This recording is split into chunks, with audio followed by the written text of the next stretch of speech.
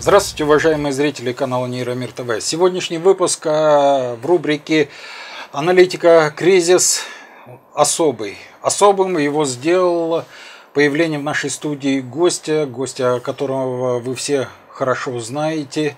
Это начальник мобилизационного управления Донецкой Народной Республики Павел Губарев. Паш, ну вот э, ты был, да, у нас э, на теле участвовал в телемосте с Донецком, то есть у нас был разговор через э, интернет, сейчас ты здесь очно в студии, здесь же Анатолий, то есть вот те люди, которые были в Донецке, они оказались в студии Нейромира. Ну, в общем-то, э, здесь много известных людей бывало, и помощник э, советника Игоря Стрелкова, Игорь Друзь, теперь вот ты.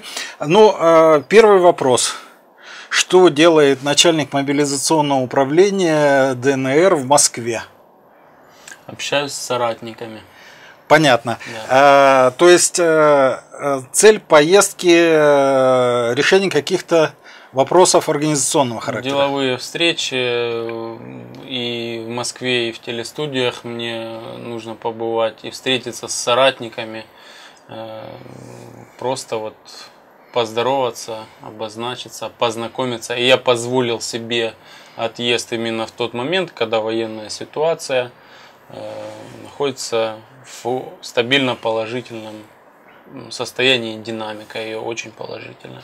Я позволил себе выехать на несколько дней буквально, чтобы здесь э, провести ряд встреч с соратниками, с политиками, ну, э, как ты вообще э, оцениваешь вот ситуацию? Наш э, предыдущий разговор состоялся в такой вот экстремальном режиме после отставки Игоря Стрелкова. А у тебя есть что-то такое, что бы ты мог сообщить зрителям? Тогда ты сказал одну фразу «все будет хорошо». И yes. сегодня мы видим, что действительно на фронтах все хорошо. То есть что-то ты тогда уже знал.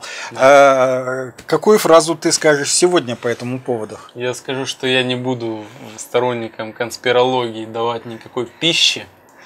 Э, просто скажу, что наступательная операция, она планировалась давно, и к ней все готовились, и люди в окопах, они давно спрашивали своих командиров, сколько мы уже будем сидеть в окопах, давайте идти в наступление долгожданное наступление, его все ждали, его, на него все надеялись, и была дана команда. В общем-то, это и не скрывалось, скрывалось только главное направление удара. Сегодня уже секретов нет, и скажу, что и через недельку, через другую вы скажете, вот опять Губарев сказал, и все сбылось. Через недельку-другую динамика будет э, развиваться, и по экспоненте, и ну, ситуация будет такова, что Киев будет вести себя более мягко и будет еще больше склонен к диалогу. Э, потому что сегодня ситуация, она и вопрос стоит так, что э, большая Новороссия, это вот не в составе Донбасса, это большая Новороссия, это там как минимум мы включаем сюда 8 областей бывшей Украины, 8 бывших областей бывшей Украины. Потому что мы сегодня считаем, что Украины больше нет. Государственный переворот прервал украинскую государственность. Э, два региона провели референдум, отделились. Остальные регионы Новороссии не смогли по тем или иным причинам довести вот такой сценарий до логического завершения по тем или иным причинам. Где-то людей заживо сожгли, э, и где-то людей массово репрессировали, где-то просто некий э, олигарх просто сумел перехватить ситуацию. Я про Коломойского. А где-то олигарх не сумел перехватить ситуацию. Я про Ахметова. Хотя он пытался. И динамика ситуации будет такова, что военные успехи продолжатся. военные успехи будут нарастать по экспоненте.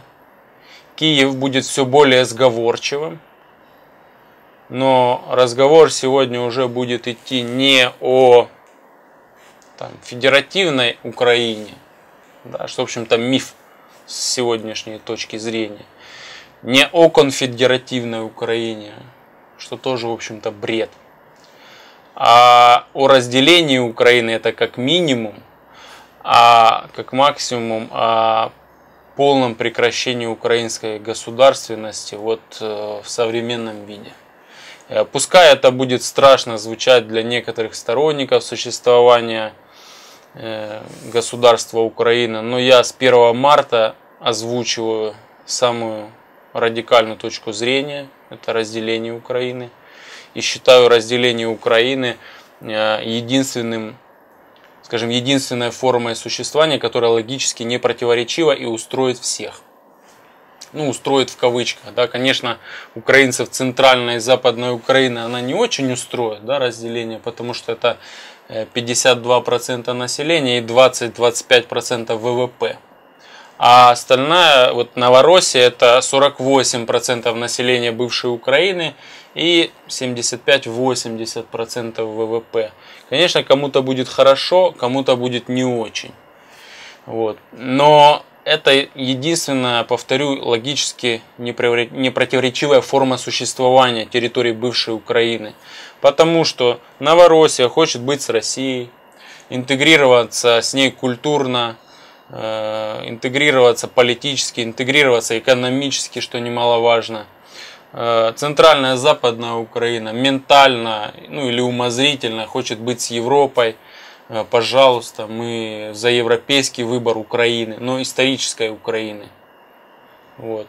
Историческая Новороссия уже сделала свой выбор на Донбассе и сделает свой выбор в остальных регионах Большой Новороссии а она будет как минимум в составе э, восьми бывших областей, бывшей Украины.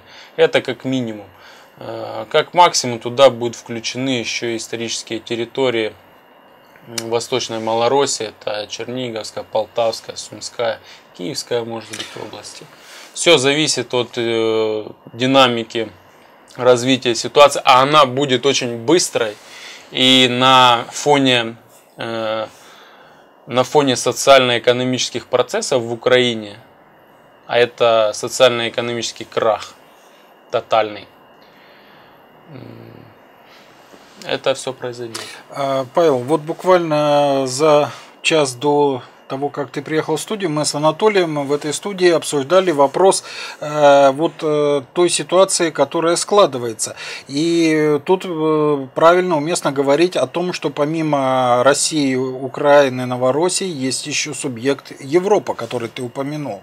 Но Европа интересует э, прежде всего надежные пути транзита энергоносителей.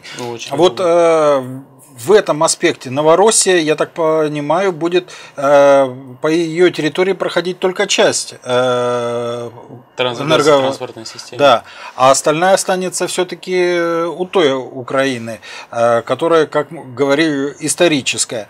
Э, вот здесь какие-то трения же могут возникнуть? Или как-то это все будет я, переговорами Я уверен в том, что Европе будет очень просто договориться с Новороссией и очень сложно будет э, разговаривать с Украиной, потому что политики Украины, они вообще оторваны от реальности. Вот они оторвались от реальности. Плюс ко всему, они, с другой стороны, они ее продадут, эту газотранспортную систему, может быть, той же Европе. Вернее, а они сейчас вообще даже хотят продать всю, да, и новороссийскую часть газотранспортной системы. Единственное, что Европа ее не купит. Она понимает, что сейчас вот они купят, да, а потом Новороссия скажет, не, мы, мы вам ничего не продавали, ребята, извините, до свидос. И тут казус есть, и поэтому никто не купит.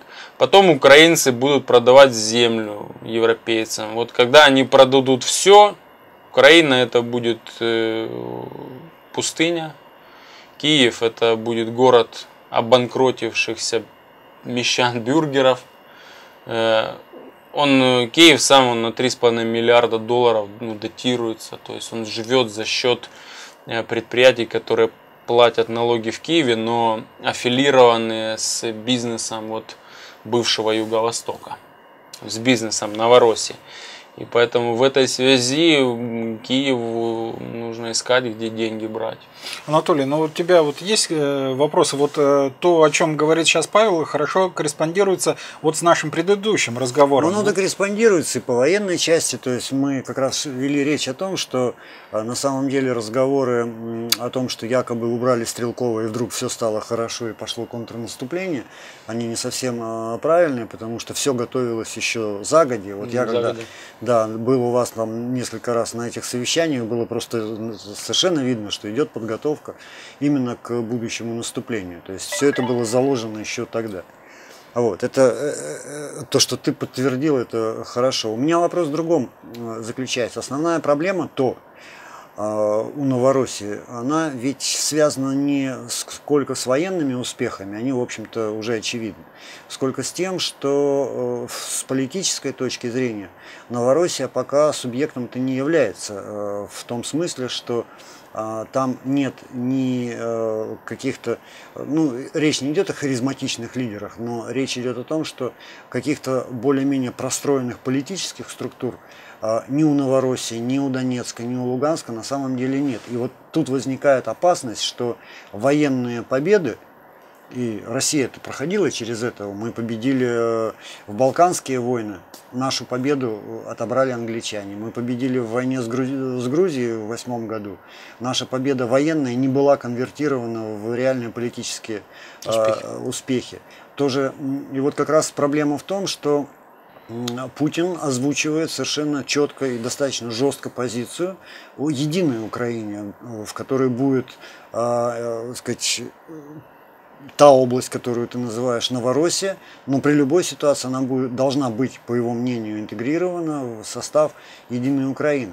Вот. И поэтому у меня возникает достаточно серьезное, скажем так, ну не подозрение, а пока, во всяком случае, уверенность в том, что вас будут давить именно по этому направлению и давить успешно именно потому, что пока нет э, реальной политической структуры, способной защитить те э, совершенно так сказать, реальные завоевания военные, которыми, которые сейчас достигнуты. Я знаю, что Денис Пушилин сейчас возвращ...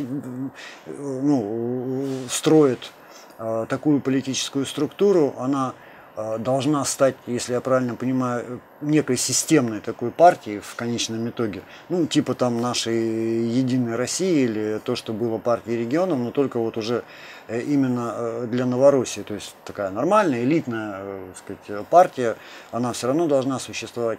Вот. насколько у него это получится, неизвестно, и времени на это уйдет достаточно много. Вот основная опасность в отсутствии вот этих политических структур и, самое главное, политических лидеров. А, раньше фигура Стрелкова, она каким-то образом она каким-то образом э, ну, могла защитить, скажем, э, политических э, лидеров в том случае, если на них оказывалось бы давление. Сейчас Стрелкова нет, и по сути те люди, которые сейчас руководят э, военной структурой, Захарченко, э, ну, тот же царь, они в общем не способны защитить именно политиков. Вот, вот, вот основная проблема, на мой взгляд, и вот что ты на этот счет как раз думаешь? Я только что получил вот смс что Совет Безопасности ООН собрал экстренное заседание. Ну, это да, они, так сказать... Было, да? Да, они, они, они собрали, они же его... Ну, это как раз, опять же, к нашей беседе о том, что якобы российские войска вторглись на территорию Украины. Ну, То, о чем заявил сегодня Яценюк. Да, при том, что ОБСЕ, в общем-то, это, это не подтвердил. Вот. Ну, в общем, вот, вот такая проблема. Тогда почему украинское правительство не объявило войну Российской Федерации? В этом случае они бы могли ощутить скажем, в настоящее вторжение России. Ну, было несколько заблудившихся солдат, которые въехали на чужую территорию. Ну, еще непонятно. Такое как. бывало и с украинскими военными, да. причем более массовое явление носило. Вот. Их, их взяли, опросили и отпустили. Сейчас Россия может сказать, ну, ребят, ну, извините, с кем не бывает. Поэтому тут э, у российской дипломатии все Но, четко. Тем не менее, вот э, Павел, э, Анатолий совершенно правильно поставил вопрос о политическом и гражданском строительстве в Новороссии, потому что военная часть худо-бедно это уже хорошо отлаженный механизм, который дает реальные успехи, но ведь всегда за войной приходит мир, а с ним политики и, извините, коммунальные проблемы. Вот что вы делаете для того, чтобы Э, построить, с одной стороны, социальную систему, с другой стороны, э, обеспечить э, обычные бытовые потребности. То есть что-то в этом направлении уже делается или пока не до этого? Сегодня политический класс Новороссии, он только формируется. Он действительно был полностью уничтожен и создан и создается с нуля. Я не знаю, получится ли там у Царева, Пушилина создать партию регионов – и э, мне непонятно, насколько это необходимый процесс, наступать еще раз на одни грабли. Свою задачу я вижу в том, чтобы э, собрать вокруг себя идейных людей и объединиться в идеологическую партию. Вот прежде всего на основе э, той идеи социально-экономического, политического, политической конструкции государства Новороссия, которую мы проработаем. Э, и сегодня это общественно-политическое движение, потому что партийное строительство это не, де, ну, не дело войны. Ну, не во время войны заниматься политическим строительством. И мы сформулировали, с этой точки зрения, мы сформулировали свое видение, каким должно быть государство Новороссия, что это первое, что его нужно сначала создать, завоевать. И второе, это нужно Э, установить там народовластие. То есть народовластие это как э, целый спектр гражданских процедур. То, что я декларирую в Википедии, уже авторы статьи обо мне назвали гражданским национализмом. То есть это когда вся полнота власти на деле принадлежит гражданскому обществу. Ну, это крамола по нынешним временам. Паш, понимаешь, я, извини, это фактически ты сейчас идешь примерно по пути Ливии Каддафи, да, он, да. в общем-то, у него тоже именно такого рода идеология была простроена, вот, но проблема в том, что там в Ливии был Каддафи, был реальный лидер, во всяком случае, в первую половину своего правления, это был очень харизматичный, очень э, знаковая фигура. Есть ли такая знаковая фигура в Новороссии? Вот проблема. Появится. Появится или вырастет из тех фигур, которые как есть. Там-то в Ливии... сегодня, сегодня речь идет не о, об одном каком-то лидере. Нужно для настоящей живой политической силы единой нужно много лидеров много лидеров. Это правда, но для того, чтобы насадить вот эту идеологию, потому что ее придется насаживать, это не нужно насаживать, естественно. иллюзии питать. Нужен, Никаких иллюзий у меня да, нет по этому ну, поводу. Нужен, нужен, нужен этап диктатуры, э, сказать, и все проходили через это. Сказать, Советский Союз прошел через этап диктатуры пролетариата, и вам тоже придется проходить через этап диктатуры народовластия, назовем это так. Но все равно в, таком, в такой ситуации так или иначе нужен э, какой-то волевой э, руководитель. Вот, вот, вот в чем проблема. Потому что коллегиально такие вещи, к сожалению, они не делаются. Вот меня смущает. Ну, это старая парадигма. Есть и более современные. Ну, на каком-то этапе он все равно неизбежен, вот этот а, человек. А, тут главное Сильная силовое. вертикаль под диктатором. Ну, кризисное управление, оно всегда подразумевает, что есть, так сказать, э, Но вертикаль власти, она в пределе дает э, те проблемы, которые да, привели да. к распаду Украины. Да, но... То есть тот же Янукович, э, выстроив, простроив некую вертикаль, привел к тому, что он не смог управлять страной. Поэтому Поэтому... И Каддафи к этому пришел, потому да. что они не Поэтому коллегиальное управление страной именно с участием людей это более Нет, просто вот то, то, что Павел говорит, это на самом деле не просто здраво, это, пожалуй, единственное, что сейчас можно противопоставить проекту олигархической Новороссии, которую на самом деле это ведь ее проталкивают. Ну, в общем, олигархическую И из Киева, и с Москвы есть очень серьезные люди, которые очень хотят увидеть а, в Новороссии просто клон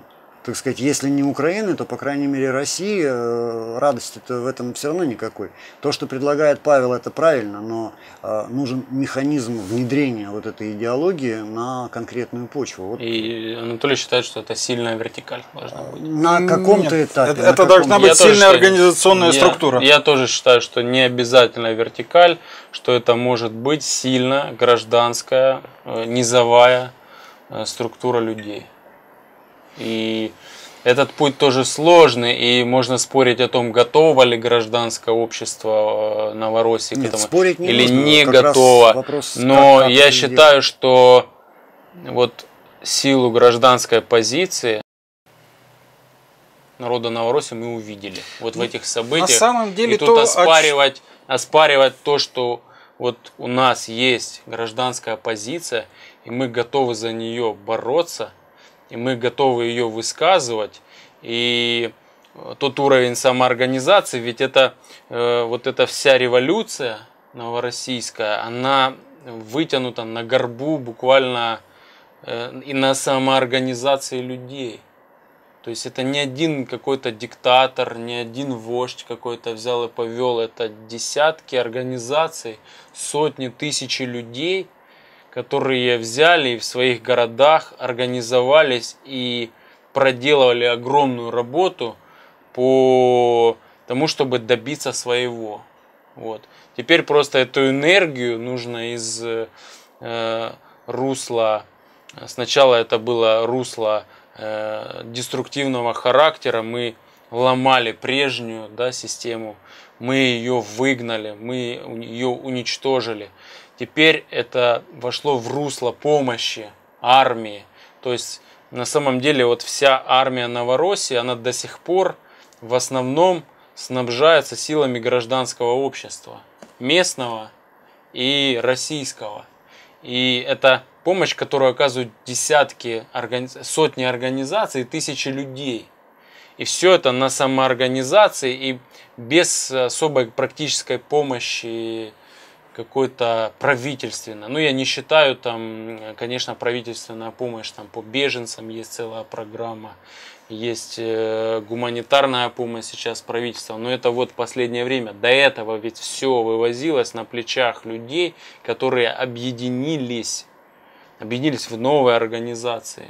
То есть это не были структуры, там, которые загодя создавались, там, финансировались. Ну, тут, вот, тут вот и возникает проблема. То есть, когда вы прекрасно понимаете, чего вы не хотите и против чего вы боретесь.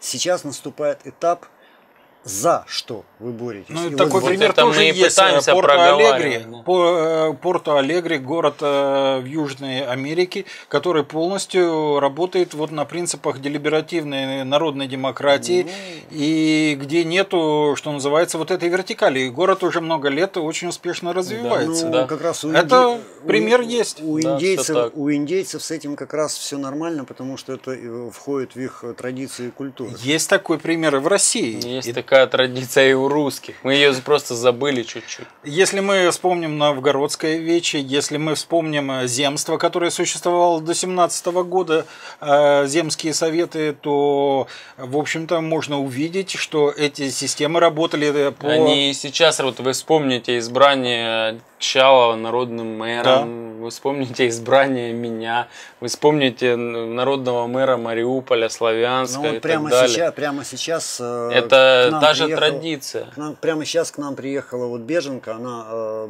бывший народный мэр Торезы, ее из СБУ выпустили, она сейчас пока вот на несколько месяцев сюда приехала, что там, там все, все, все разбито. Ну, э, это да, это правильно. Тут меня интересует, э, то есть, э, насколько хорошо вы понимаете именно механизм перехода от сегодняшнего состояния, оно, в общем, достаточно хаотично, к вот этому упорядоченному хаосу э, народного сетевой структуры. да, потому что это, потому что понятно, что иерархическая структура, она плохо работает, она э, не совсем в нашей традиции и народовластия, она в этом смысле безусловно лучше. Но вот как перейти от сегодняшнего э, к этому?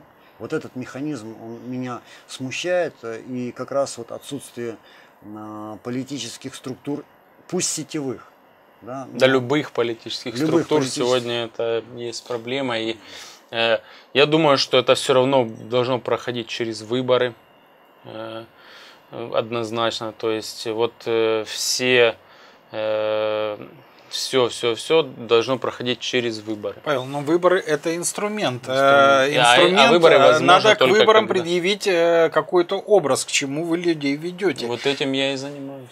Вот Потому я на что... каждом телевидении, на каждом везде-везде я занимаюсь тем, что говорю о том, что какое должно быть гражданское общество, какая должна быть власть. Я говорю о том, что вся власть должна быть на местах. Вот чем э, дальше на места, чем глубже на места именно можно делегировать власть людям, наделяя людей ответственностью, начиная от своего дома, вот, заканчивая у глобальными проблемами. Я вообще являюсь сторонником электронных плебисцитов и упразднения парламента, если уж дальше зайти, вот, о готовности общества к этим... То есть электронной этим, демократии. Да, к этим переменам, о готовности нашего гражданского общества можно, конечно, тоже дискутировать, однако э, я сторонник прямой демократии, чтобы люди решали сами о векторе интеграции, о больших каких-то политических решениях. То есть вот если бы эти механизмы действовали, никакой путь, никакой Майдан, никакой госпереворот э, по причине того, что какая-то корпора- корпоратократия тянет в Европу, потому что ей так выгодно, она была бы невозможна. Э, были бы такие механизмы разделения страны, там, отделения, можно, можно в общем-то, самоопределение простым электронным плебисцитом решать любые вопросы. И поэтому и я именно сторонник такой прямой демократии. Я сторонник э, того, чтобы было больше выборных должностей, чтобы люди э, выбирали судьи, да? муниципальную милицию. Вот чтобы ты вот милиционера выбрал, и ему мог прийти и сказать, я за тебя голосовал, почему там наркотики продают процедуру отзыва тут же прописать. Процедуру отзыва этого э, милиционера, если он из милиционера превратится в мусора.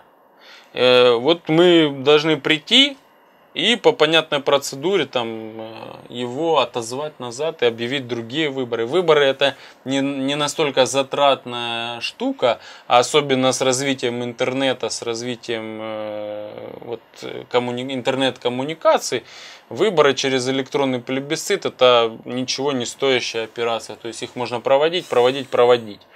Э, выбирать нужно судей, действительно выбирать. То есть ну, должен быть какой-то ценз образовательный, опыт юридической практики, и люди могут баллотироваться. Все знают честных адвокатов.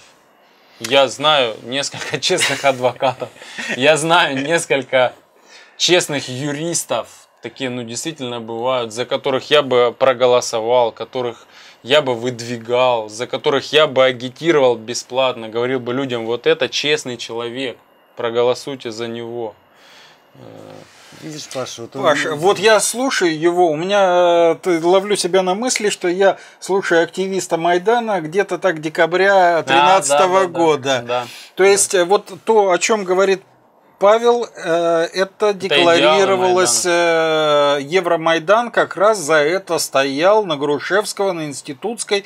Они, собственно, за это боролись в результате получили немножко не то, а точнее совсем не то, за что они боролись. Да. А получили прямо противоположное, то есть э, меньше демократии, больше централизации, больше олигархов, больше грабежа. То есть, э, но только заменили вора на убийц. Да. А вот э, и сейчас вот необычность нашей, нашего времени, что те Э, люди, которые бились за эти принципы, сейчас идут э, э, воевать с теми, кто эти принципы отстаивает. Так точно. Вот как это вообще в одну голову может такое поместиться? Ну, у нас-то все в порядке. Вот у нас в голове все в порядке. Мы там Майдан почему не поддерживали? Потому что они скакали. Вот. А мы скакать Сотрясение не мозга. А да? мы скакать не хотели, да, потому что ну, среди нас много москалей, как они говорят, мы скакать не хотели. Э, что у них героям слава головного мозга. И в этом смысле они были чужие. Вот чужие, а чужих поддерживать, ну, нельзя. А идеал это у них хороший, ну декларируемый идеал, они хорошие, они до сих пор, вообще все политики-то у нас все, за все хорошее против всего плохого, видение чуть-чуть разное, но все же за все хорошее. А маємо то еще маємо, как говорил известный политический персонаж. И мы им говорили, что вы поменяете шило на мыло. Да, на кого мы меняем Януковича? Ну, поменяли Януковича на Порошенко. Поздравляю украинцы, стоило ли это того. Мы перевалили уже сегодня несколько десятков тысяч жертв. Сколько еще нужно жертв, чтобы понять, что Украина единая, она существовать не будет. Вот э, еще такой вопрос. А ты как человек все-таки близкий э, к украинским вот этим внутриполитическим раскладам, как ты оцениваешь, третий Майдан будет или же э, это невероятно? То есть есть предпосылки вообще, что все завертится по новой? Э, мне бы хотелось, чтобы украинцы все-таки получили настоящую народную власть. И это не мой шкурный интерес что если там будет опять Майдан бардак, то нам будет полегче воевать. Это, конечно, тоже присутствует, но я искренне болею, чтобы украинцы освободились от хунты и чтобы мы приступили к диалогу и, ну скажем так, разводу через диалог по чехословацкому сценарию. Э, вот путем опроса людей в регионах и путем наделения э, субъектности на уровне референдума вот каждого региона, там Донецкой, ой, э, Донецкой, Одесской области, Николаевской области, Херсонской области, Запорожской области, да, вообще все области должны проголосовать ну, есть... и сказать, мы единая Украина или мы самостоятельный регион. Ну почему нет? Ну мы показали, что кровавым путем идти это это много жертв. То есть твой рецепт это Киеву выгнать Киеву э, надо... хунту и потом провести общенародный плебисцит да. Э, по самоопределению каждого региона. Да, но, куда он... но субъектность решений этого плебисцита должна быть на уровне региона. То есть, реги... всю регион... страну опросить, а все а большинство за единую Средняя Украину, температура... потому что без Донбасса, без Донбасса все там не будет. Э, вот при, юг и Харьковская область, они не будут представлены вообще никак.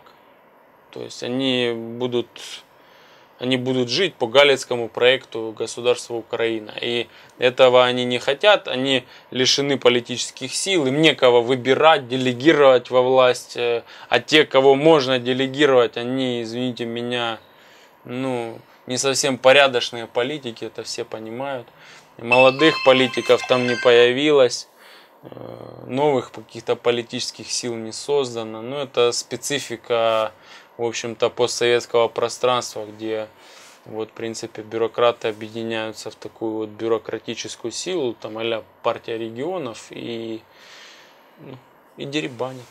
Павел, э, ну вот э, мы э, на предыдущей записи с Анатолием говорили о том, что мы планируем предоставлять в Россию информацию о том, что же происходит в Новороссии. Вот мы как раз разговаривали с тобой, что к сожалению, вот сейчас пока информация из Новороссии, она такая фрагментарная. Где-то сняли ролик, выложили, а целостного канала нет. И вот в этом направлении я хочу вот э, воспользоваться случаем, обратиться к зрителям. А вы, в принципе, знаете номер, который показывал Игорь Стрелков, это помощь э, Новороссии. А в конце нашей программы есть номер канала, и оказывая помощь, вы поможете докупить необходимое оборудование для того, чтобы на нашем канале вы могли круглосуточно слышать голос Новороссии. Новороссия Today. Ну, по крайней мере, э, такой проект у нас задуман, э, многое уже для этого сделано, но еще много предстоит сделать. И прежде всего тебе, Павел, э, то есть вот ты говоришь, что гражданское общество. Но гражданское общество – это прежде всего достоверная информация. Вот да. что вы делаете для этого? Для этого мы создаем народный телеканал, народную радиостанцию, народную газету и народный портал, то есть социальную сеть. Народную социальную сеть, где ну, сначала в рамках общественно-политического движения мы будем вот э, учить людей электронной демократии. Жить по-новому. Да, жить по-новому. Ну что ж, вот такой у нас сегодня гость, редкий гость. Но тем не менее, он Редкая сказал птица. очень много, да, очень много важных вещей, которые, думаю, заставят задуматься многих о том, что же все-таки происходит э, в Новороссии, куда хотят идти люди, и, может быть, даже чему-то у них поучиться. Опыт может быть очень полезен. Итак, оставайтесь на нашем канале, следите за анонсами и не забывайте помогать нашему каналу, потому что вся ваша помощь, она пойдет к тому, что появятся новые технические возможности и возможность оперативного получения достоверной информации. До новых встреч!